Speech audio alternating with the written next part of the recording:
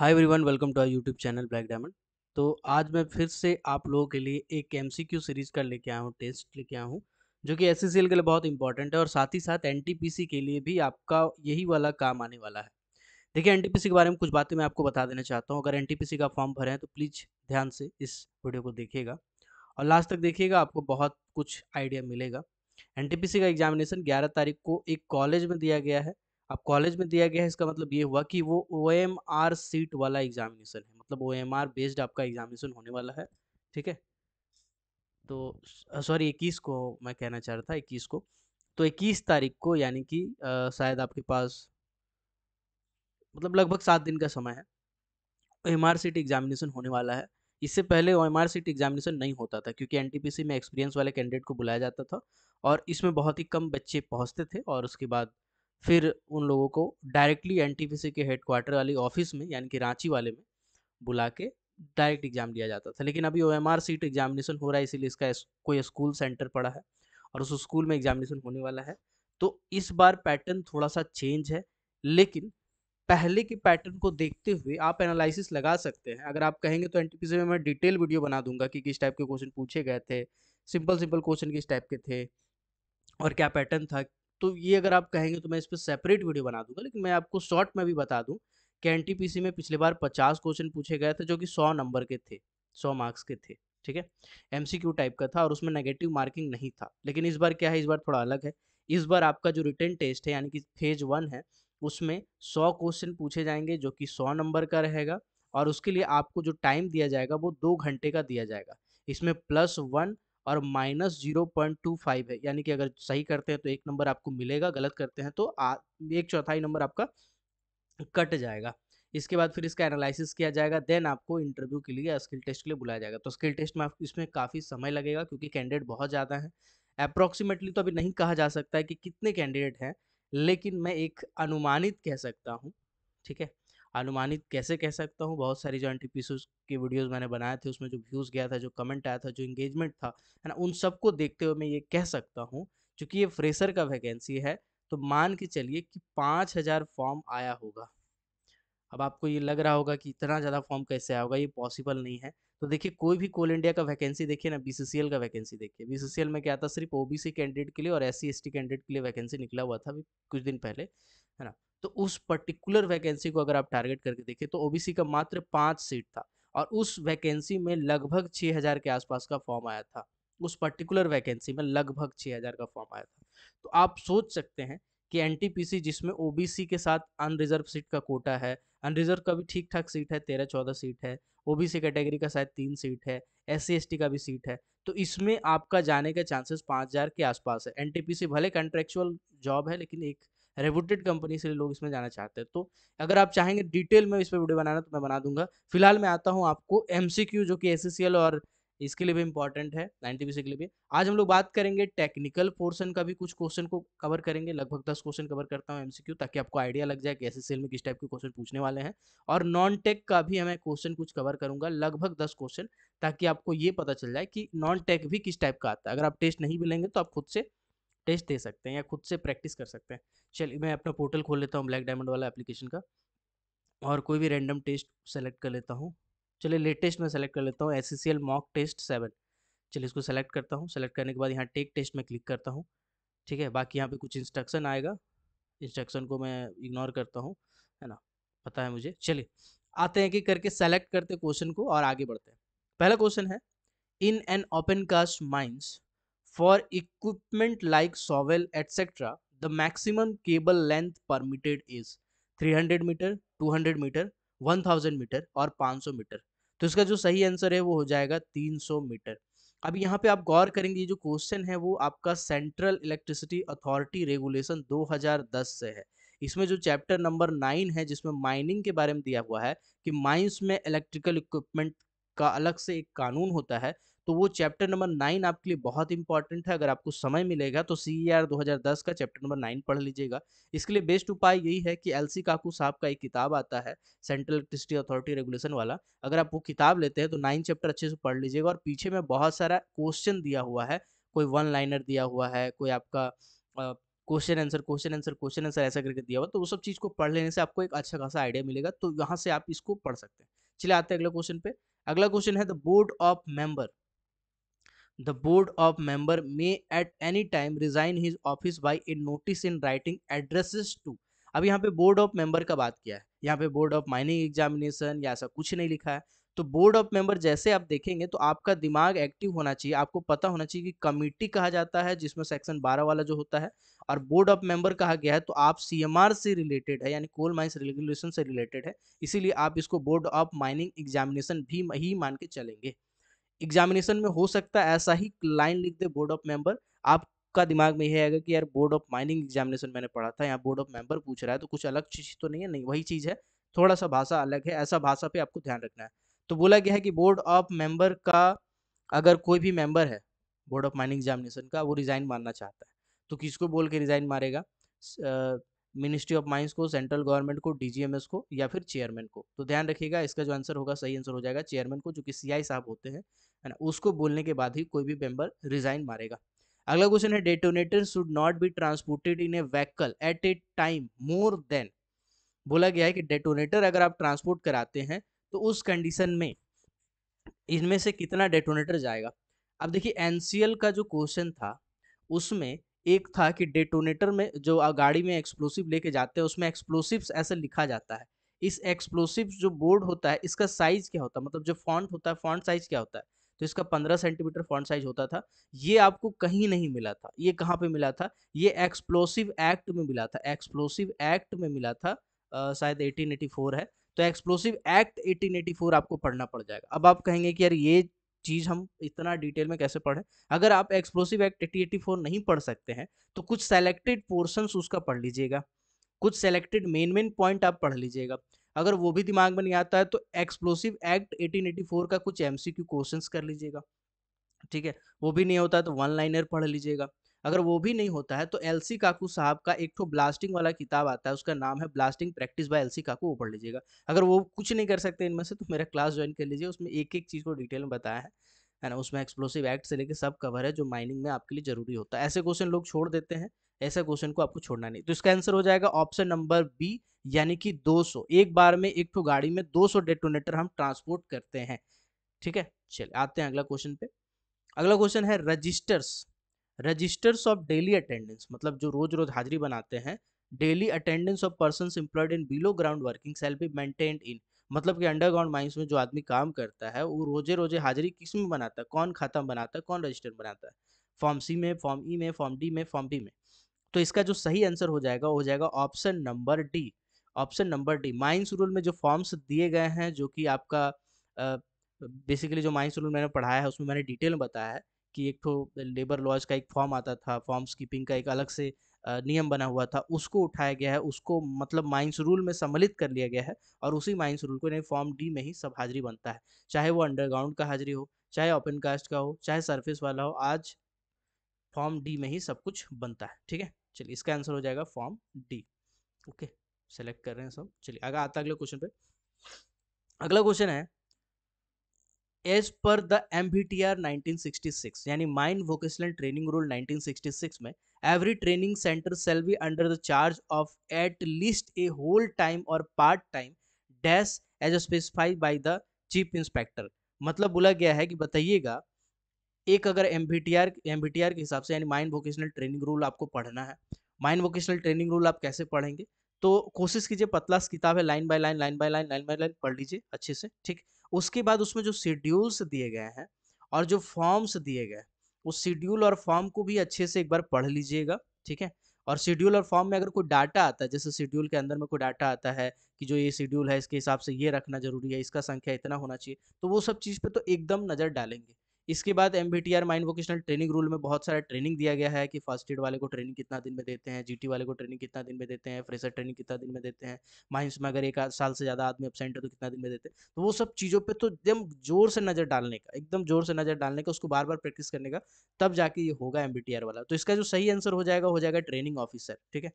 Training officer मतलब ये हुआ कि एम बी टी आर में जो ट्रेनिंग सेंटर होता है ट्रेनिंग सेंटर में कम से कम एक ठो आदमी ऐसा होना चाहिए जो फुल टाइम या पार्ट टाइम स्पेसिफिकली उसको मतलब नॉमिनेट किया जाए, उसको रखा जाए, ठीक है? आते अगला क्वेश्चन पे। अगला क्वेश्चन है for depillaring area of gassy mines of two degree and three degree the amount cluster of light in addition to cap lamp of individual required to be provided बोला गया है कि अगर आप डिप्लरिंग कर रहे हैं, कोई गैसी माइंस है, यानी टू डिग्री थ्री डिग्री का माइंस है, और वहाँ पे आप डिप्लरिंग कर रहे हैं, ठीक है?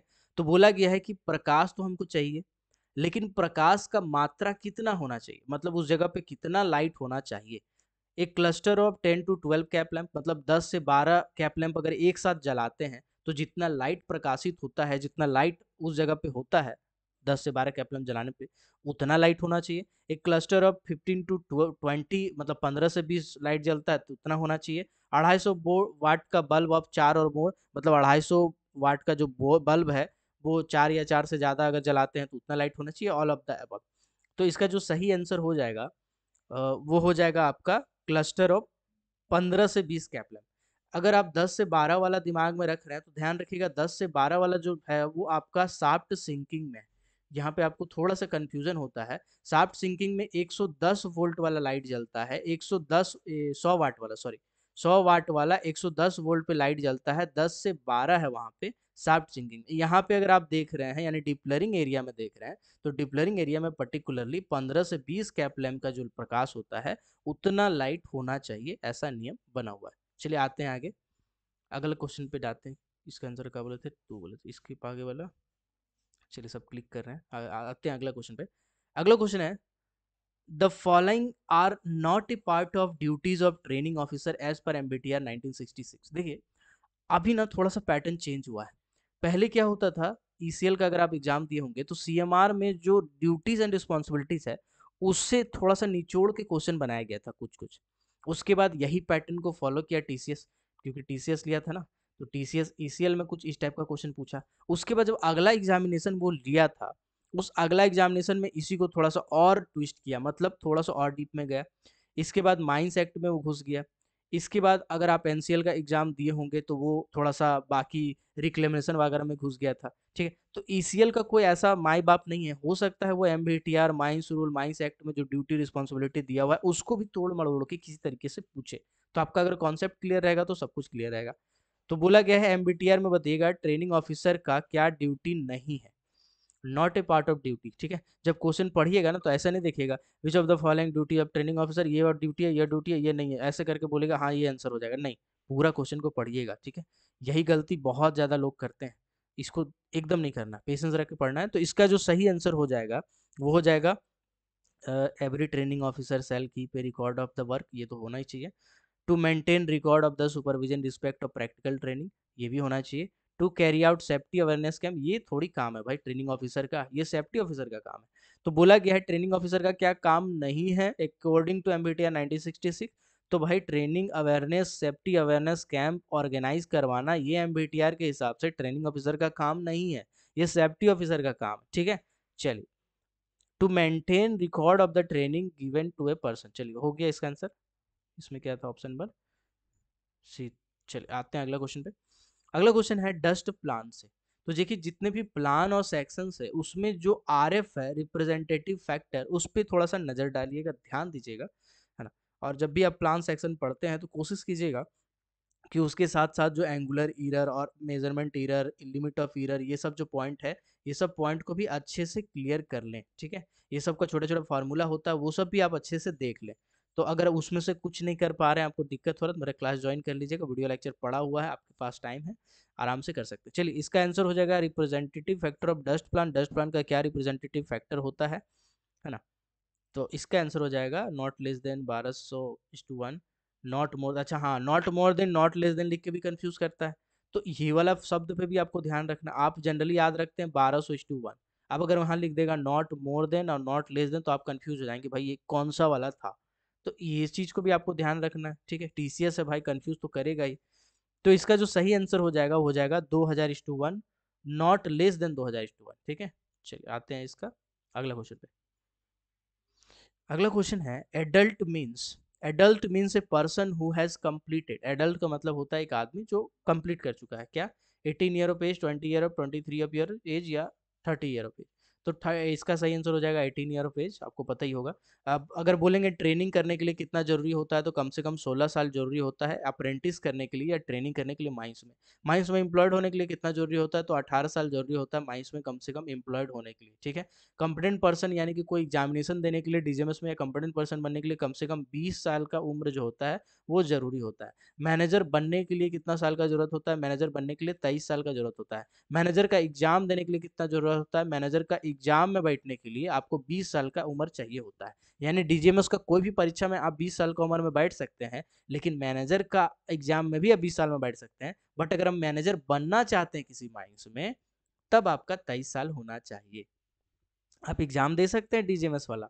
आप बैठ सकते हैं, आप सर्टिफिकेट भी ले सकते हैं, आप रख भी सकते हैं सर्टिफिकेट लेकिन आप उसको तेईस साल होने के बाद ही यूटिलाइज कर सकते हैं। इस सब चीज़ों को थोड़ा सा ध्यान से रखिएगा। एज ऑफ़ रिटायरमेंट क्या होता है? General of age of retirement साठ साल होता है। मैक्सिमम एज ऑफ़ रिटायरमेंट क्या हो सकता है? तो हर एक साल में मेडिकल हम देते जाएँगे, देते देते देते सत्तर साल तक हम मैक्सिमम जाएँगे। अब इंजीनियर का एज क्या होता है? इक्कीस साल हम लोग पढ़े थे कहीं कहीं। नहीं, इक्कीस साल नहीं पढ़े थे। इक्कीस साल आपका एमएमआर में है भाई साहब तो ये वाला कन्फ्यूज़ नहीं हो जाएगा इंजीनियर का सर्वेयर का ये सब एज पूछेगा तो इक्कीस टिक नहीं मारना है इक्कीस साल एमएमआर यानी मेटलिक फेरस माइंस रेगुलेशन में आप पढ़ क्या रहे हैं? आप सीएमआर पढ़ रहे हैं कोल माइंस रेगुलेशन पढ़ रहे हैं। कोल माइंस रेगुलेशन में इंजीनियर और सर्वेयर का ऐसा कोई उम्र नहीं लिखा हुआ है, यानी 20 साल होना चाहिए जो कंप्लेंट पर्सन का या डीजीएमएस का परीक्षा बैठने के लिए होना चाहिए। तो ऐसे करके आपका अगर क्लियरिटी रहेगा तो फिर कोनो दिक्कत नहीं होगा एग्ज़ाम में खेल जाइएगा।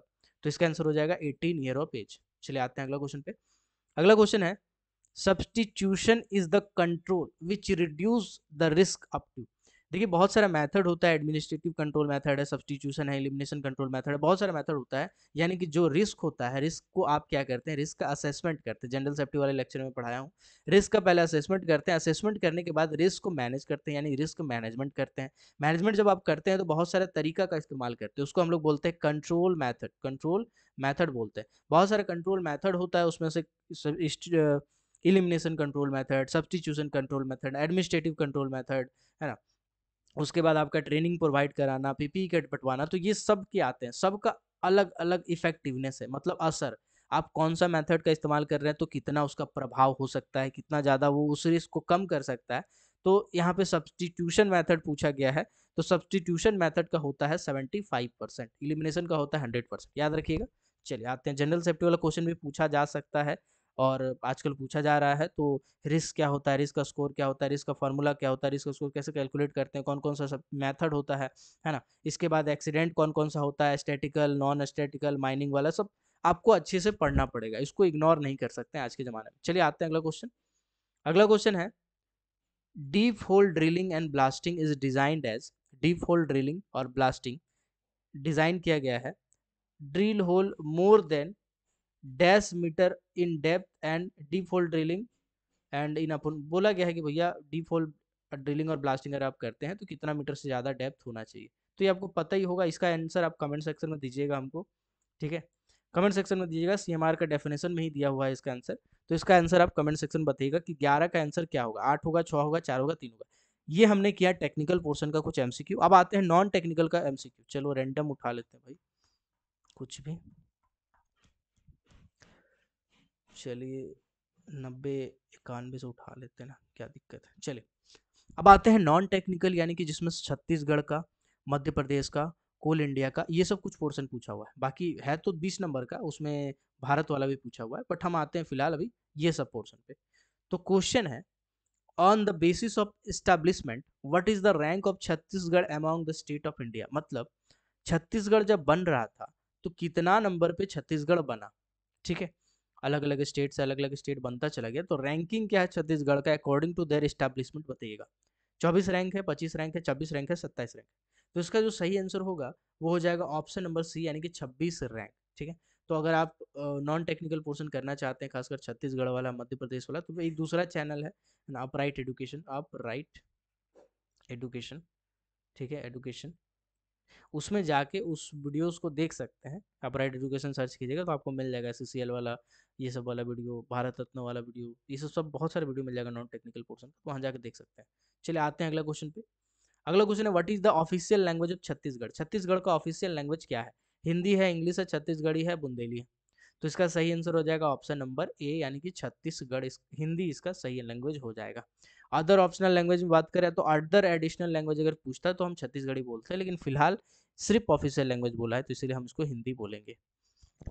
चल अगला क्वेश्चन है in the which field Tulsi Samman is given by Madhya Pradesh government Madhya Pradesh की जो सरकार है, वो एक अवार्ड देती है। उस अवार्ड का नाम है तुलसी सम्मान तुलसी सम्मान ये किस क्षेत्र में दिया जाता है? ऐसा अवार्ड वाला क्वेश्चन तो भाई साहब पूछेगा ही पूछेगा। चाहे भारत का पूछे, चाहे स्टेट का पूछे पर्टिकुलर मध्य प्रदेश का या छत्तीसगढ़ का पूछे। ऐसा अवार्ड तो पूछेगा ही कि ये अवार्ड किससे संबंधित है, ये अवार्ड किसको दिया जाता है, ये अवार्ड अभी रिसेंट में कौन जीता? तो ये अवार्ड वाला तो भाई आपको पढ़ना ही पड़ेगा। अवार्ड वाला पढ़ना ही पड़ेगा। गूगल मारिएगा एक एक चीज़ का मिल जाएगा आपको। ठीक है? चलिए आते हैं अगले क्वेश्चन पे। यही क्वेश्चन है लोक कला में साहित्य में संगीत में या आ, हिंदी पोएम में? तो इसका सही आंसर हो जाएगा लोक कला। लोक कला में दिया जाता है आपका तुलसी सम्मान। ठीक है? चलिए। अगला क्वेश्चन है Kalidas honour is given for Kalidas honour इनमें से किस क्षेत्र में दिया जाता है? तो थोड़ा सा दिमाग लगाएँगे तो आपको पता चल जाएगा। म्यूज़िक में, डांस में, सिनेमा में, लिटरेचर में। देखिए, कालिदास क्या थे? बहुत बहुत सारे पोथी पोथी ग्रंथ लिखते थे, ठीक है? तो कालिदास किससे संबंधित थे? कालिदास साहित्य से संबंधित थे, यानी कि लिटरेचर से संबंधित थे। तो इसका आंसर हो जाएगा ऑप्शन नंबर डी, लिटरेचर। अगला क्वेश्चन है, एस इज़ प्रोड्यूसिंग। अब आगे एनुअल रिटर्न से question. S is producing around dash percent of total all India production. अब एस क्या निकालता है आपको पता है? एस सी क्या निकालता है? एस सी कोल निकालता है। ठीक है? है ना? ठीक है ठीक है ठीक है। यहाँ पे एस होना चाहिए। थोड़ा सा मेरे को लगता है टाइपिंग मिस्टेक हो गया है। मैं इसको देख लूँगा यार, इसको देख लूँगा। ठीक है? चलिए, इस क्वेश्चन को मैं रहने देता हूँ। थोड़ा सा मिस्टेक हो गया है। ओके, चलिए। आते हैं अगले क्वेश्चन पे। Name the first coal mining company of India इनमें से कौन सा कंपनी है जो पहला कंपनी है कोल माइनिंग का? Tagore and sons BCCL CIL NCL तो ध्यान दीजिएगा बीसीसीएल जो आप पढ़ रहे हैं ना, ये सेंट्रल गवर्नमेंट की पहली कंपनी है, ठीक है? सेंट्रल गवर्नमेंट की पहली कंपनी ठीक है? तो ये आप नहीं कह सकते हैं कि ये सरकारी कंपनी है। टैगोर एंड सन्स जो है, ये है भारत का पहला कंपनी भारत का पहला कोल माइनिंग का कंपनी जो है वो टैगोर एंड सन्स है। जो कि आपका रानीगंज के रानीगंज में बेसिकली इस्टेब्लिश किया गया था, दामोदर नदी के वेस्टर्न घाट पे ये पड़ता था। तो उस जगह पे टैगोर एंड सन्स नाम का एक कंपनी बनाया गया था, ठीक है?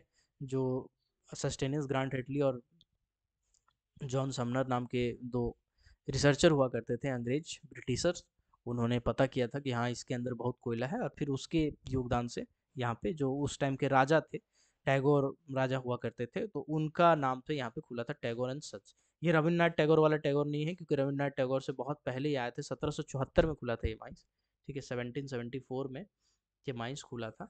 बाकी अगर हिस्ट्री ऑफ़ इंडिया जानना है भाई, हिस्ट्री ऑफ़ कोल इंडिया या history of mining in India तो आप मेरा ब्लैक डायमंड चैनल पे ही सर्च कीजिएगा, history of mining in India by black diamond, ऐसे लिख के सर्च कीजिएगा, आपको पूरा डिटेल में वीडियो आ जाएगा दो तीन पार्ट में है, पूरा अच्छे से देख लीजिएगा, उससे इतना क्वेश्चन कवर हो जाएगा, इतना क्वेश्चन कवर हो जाएगा कि हमको भी नहीं पता कितना क्वेश्चन कवर हो जाएगा। चलिए आते हैं अगला क्वेश्चन पे। Anthracite coal is founded. Anthracite coal इनमें से कहाँ मिलता है? जम्मू कश्मीर में, पंजाब में, झारखंड में, तमिलनाडु में। तो आपको पता है, अगर तो बहुत अच्छी बात है, नहीं है तो आप जान लीजिए। जम्मू एंड कश्मीर वाले रीजन में एंथ्रासाइट कोयला पाया जाता है, ठीक है? तो इसका आंसर हो जाएगा जम्मू एंड कश्मीर, ओके? चलिए आते अगले क्वेश्चन पे। Name the deepest coal mines among the following इनमें से सबसे ज़्यादा डीप इनमें से सबसे ज़्यादा डीप ये नहीं बोला भारत का सबसे ज़्यादा डीप इनमें से सबसे ज़्यादा डीप कोल माइंस कौन सा है? Dhori colliery, Jogidih colliery, Chinakuri colliery या सुदामडी कोलियरी? चारों का चारों आपका अंडरग्राउंड माइंस है और काफ़ी फ़ेमस माइंस है। ढोरी कोलियरी में आपको पता है कि विस्फोट हुआ था, दो सौ अड़सठ आदमी मरे गए थे उन्नीस सौ पैंसठ में। पहली बार कोल्ड फायर डैम के साथ साथ कोल्डर एक्सप्लोजन का विस्फोट हुआ था। उसके बाद जोगी डी कोलियरी जो है बीसीसीएल का एक बहुत ही पुराना कोलियरी है, इसका शायद दो या तीन सिम अलग अलग चलता है और इसमें भी काफ़ी अच्छा प्रोडक्शन रहा है। चीनाकुरी कोयलेरी ये वेस्ट बंगाल में पड़ता है और ये भारत का सबसे डीपेस्ट कोल माइंस में से एक है, ये चीनाकुरी कोलियरी और सुदामडी कोलियरी बहुत पुराना कोल माइंस है। ये साफ्ट सिंकिंग के लिए फ़ेमस है और इसमें बहुत सारा अलग अलग चीज़ है जो ये गैसी माइंस है और इसमें जो आपका साफ्ट बना हुआ है उसका रेडियस बहुत ज़्यादा है। है ना? ऐसे कर करके बहुत सारे चीज़ इसमें सुदामडी कोलेरी में रिलैक्सेशन दिया हुआ है। इसका प्रोडक्शन बहुत ज़्यादा है। तो चारों माइंस बहुत फ़ेमस है तो इसका आंसर हो जाएगा option number C Chinakuri colliery. अब आते हैं क्वेश्चन नंबर नाइन्टी नाइन का। Largest mines of coal India limited ये भी क्वेश्चन आपके लिए बहुत इंपॉर्टेंट है, क्योंकि एस का ही क्वेश्चन है। Kevra project Kusmunda project Dipka OCP या कठारा ओसीपी तो गेवरा प्रोजेक्ट भारत का सबसे बड़ा ओपन कास्ट माइंस का प्रोजेक्ट है सेकंड नंबर पे आता है कुसमुंडा प्रोजेक्ट और ये दोनों के दोनों आपके पढ़ते हैं कहाँ? एस में। दीपिका जो है वो आपका आ, मुझे आइडिया नहीं है शायद ये एनसीएल में पढ़ता बट ये दोनों जो ऊपर वाला है ये दोनों पढ़ता है एससीसीएल में।